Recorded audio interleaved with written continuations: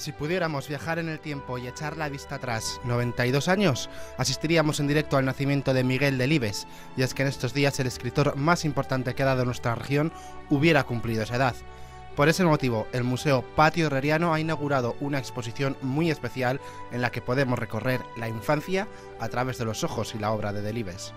Cuenta César Alonso de los Ríos que a Miguel Delibes el silencio le incomodaba cuando escribía que necesitaba del holgorio de los niños correteando por la casa para poder concentrarse en su literatura. Delibes nos contaba de forma sencilla cosas complicadas y sus protagonistas infantiles hasta ahora en el ideario de sus lectores se tornan en imágenes de la mano de 15 ilustradores. Es de las exposiciones importantes que, que puede tener un ilustrador. ¿no?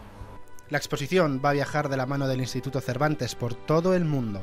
La primera parada, Nueva York. Acompañando la exposición tendremos ocasión de celebrar seminarios, encuentros, cursos, talleres, todos ellos relacionados con la obra de Miguel Delibes. En Valladolid podemos ver la exposición hasta el 27 de enero.